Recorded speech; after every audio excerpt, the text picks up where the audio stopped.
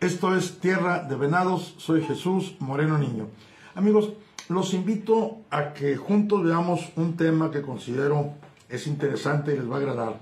Me refiero a la importancia de las lluvias en primavera, así como la importancia del suplemento alimenticio adecuado para los venados en primavera. Ahorita en 2023 estamos iniciando una primavera con un, panorama muy favorable para producir venados grandes en los ranchos de cerco bajo.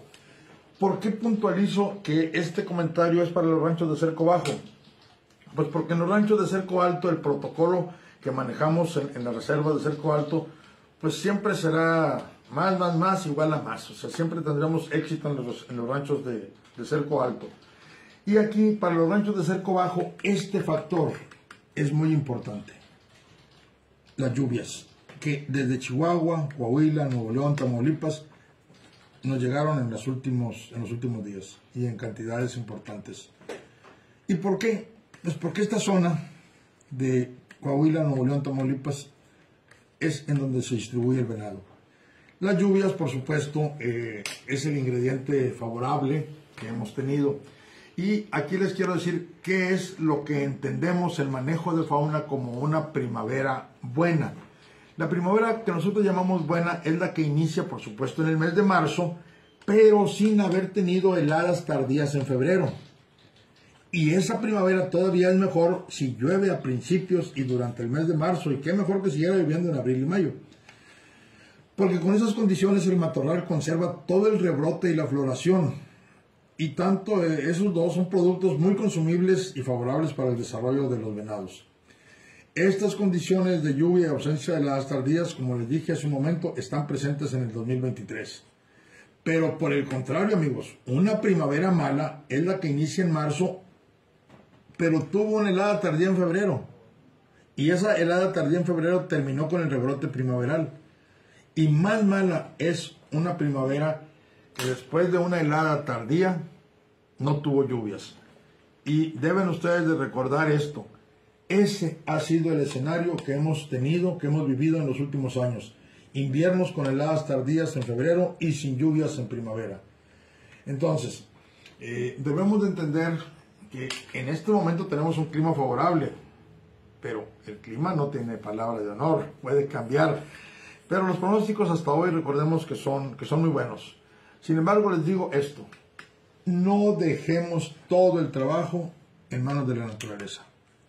Debemos, como dueños de la UMA, como dueños del, proyecto del, del, rancho, como cazadores, debemos de apoyar el desarrollo de nuestros venados. ¿Y cómo lo apoyamos con esto? Suplementando en primavera y verano. ¿Por qué? Porque en primavera las venadas están gestantes y los venados, los machos, están haciendo astas. Por tanto, sus necesidades son proteicas, de un suplemento de proteína, no energético. Aquí está tajante el comentario, no den maíz en primavera ni en verano. No quiero decir que el maíz sea malo, que les va a hacer daño, no. Pero no les va a dar ningún beneficio. Los vas a mantener, tal vez los vas a engordar, pero no hay ningún beneficio en sus procesos fisiológicos que ocurren en primavera y verano. También te pido, analiza tu agostadero Fíjate qué plantas tienes y cuáles no tienes. Si producen flor, fruto, hoja, y checa cuáles de, las plantas de tu agostadero, de lo que podríamos llamar tu patrimonio biológico, es consumido por los venados.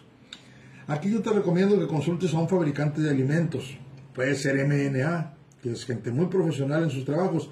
Pídeles un suplemento que contenga los minerales que tú ya detectaste que no tienes en tu agostadero Ahí está la importancia de un suplemento que es como un traje a la medida de tu rancho y de tus venados. Lo que no tienen en el monte lo van a encontrar en el lo van a encontrar en el suplemento alimenticio proteico que les estás dando en el momento adecuado.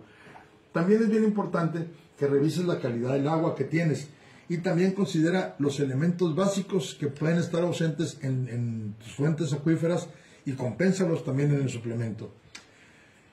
Este suplemento proteico manténlo desde marzo, abril hasta octubre. Es muy importante, ¿sí? En estas fechas porque te repito, las venadas estuvieron primero gestantes y ahora están lactantes y el macho está haciendo astas. Ya en noviembre, en otoño, puedes poner maíz. Ahí sí es correcto. Dale maíz porque es energético y el macho lo requiere para enfrentar las corridas y las inclemencias del tiempo. Recuerda, eh, y este comentario pues no me agrada hacerlo, pero pues es parte de... El maíz que ponemos los cazadores, muchas ocasiones lo ponemos en noviembre, porque vamos a ir de cacería. No lo estamos poniendo para beneficiar a los venados. Nos estamos buscando un beneficio nosotros. Pongo un bote con maíz y van a salir del monte a ver el maíz, a comer el maíz, a oler el maíz. Entonces no estamos pensando en beneficiar a la especie, sino estamos simplificando nuestra cacería. Y bueno, mm, pues no es criticable, pero debemos de recordar que se busca el beneficio para los venados, no prácticamente para el cazador. Máxime que la mayor parte de los cazadores suspenden la oferta de maíz en febrero cuando termina la cacería, que es precisamente con un monte desfoliado, con un monte invernal es cuando más apoyo necesitan los animales y es cuando casi siempre se les retira el, el suplemento, al menos de maíz. Amigos, finalizo ofreciéndoles nuestro teléfono 818-01-37853. Recuerda que tenemos 31 años trabajando con venados, manejamos asesoría, consultoría y servicios veterinarios. Me despido agradeciéndoles a todos su atención. Soy Jesús Moreno Niño, su amigo. Y suerte para todos y ojalá primero Dios y la Virgen de Guadalupe que sigan las lluvias en estos días. Gracias.